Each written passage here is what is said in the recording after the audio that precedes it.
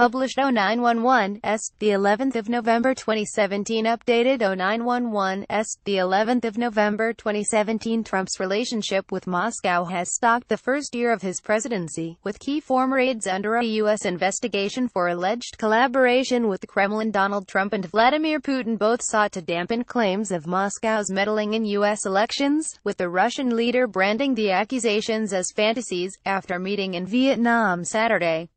The two leaders snatched brief but chummy discussions on the margins of an Asia-Pacific summit, in an encounter overshadowed by claims over Russian influence in the vote that propelled Trump to the White House. Trump, whose key former aides are under a U.S. investigation for alleged collaboration with the Kremlin, said he repeatedly asked Putin about the claims during their chats at the APEC summit in the Vietnamese resort of Da Nang. He Putin said he didn't meddle. I asked him again, Trump told reporters on Air Force One as he flew to Hanoi for a state visit.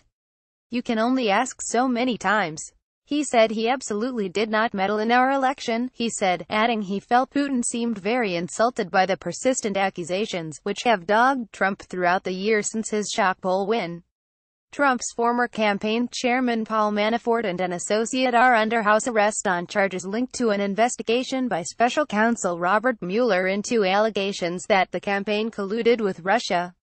Revelations by Facebook and Twitter that Russian-sponsored fake news flooded U.S. social media in the election run-up have further deepened scrutiny on ties between the nations.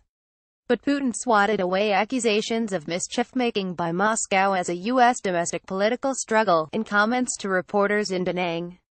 Trump also gave a loud airing to his America First rhetoric at the APEC summit. I think these are some sort of fantasies, he said of claims of collusion between the Kremlin and the Trump campaign. Trump and Putin met three times on the margins of the APEC summit, sharing warm handshakes and brief words. The pair appeared to have struck a chummy tone, with Trump describing a very good feeling after the talks, and Putin remarking on the well-mannered former reality star. The exchanges produced a rare common ground on the war in Syria, a bloody six-year conflict which has seen the US and Russia back competing factions. In a joint statement the leader said there was no military solution to the war, an agreement that marks a small but incremental step towards peace. America First Trump also gave a loud airing to his America First rhetoric at the APEC summit.